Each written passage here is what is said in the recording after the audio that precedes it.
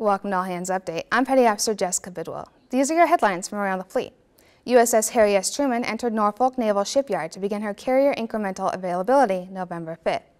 The Navy announced earlier this year that Truman is swapping maintenance, training, and deployment schedules with USS Dwight D. Eisenhower. The Navy is building an unmanned surface vehicle that will launch from a littoral combat ship, or LCS, to detonate and destroy underwater mines. The prototype will pave the way for initial production of the Unmanned Influence Sweep System, or UISS, designed to be launched and recovered from an LCS. The UISS has infrared sensors and communications gear linked to a command and control center on board the ship. The first prototype is scheduled to be finished by 2016.